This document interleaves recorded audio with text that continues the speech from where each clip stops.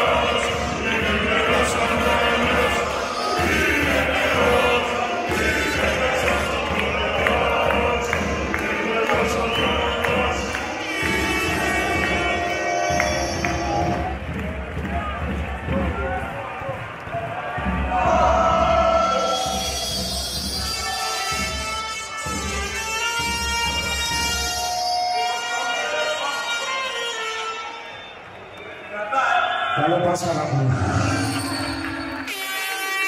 Ευχαριστούμε πάρα πολύ.